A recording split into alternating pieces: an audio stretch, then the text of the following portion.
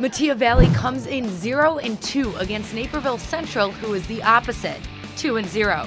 Quarterback Peyton Thorne and star wide receiver Jaden Reed playing against their old school in a new uniform. First possession for Central, Danny Hughes from four yards out, and he's going to come right at the camera and cross the threshold.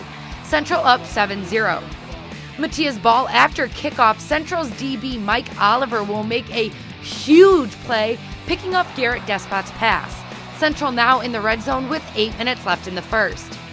A few plays later, Thorne, with all of the time in the world, scrambles and then finds Tommy Coyne in the zone.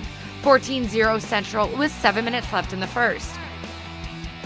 Early in the second now, Thorne has the ball and sees the gap, and he's in for the short touchdown, and it is now 21 0. Move the clock down to nine minutes in the second.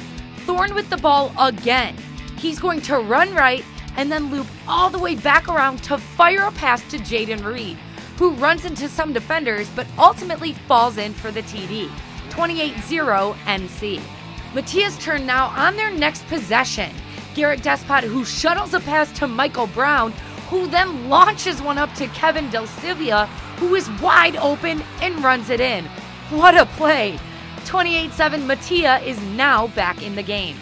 35 7 now mid second quarter. Thorne is going to connect with Jaden Reed again, who fakes and steps over the backs out of bounds. Central moving down the field again. Three minutes left in the half. Danny Boy Hughes is going to cross the line yet again to bring the score up 42 7.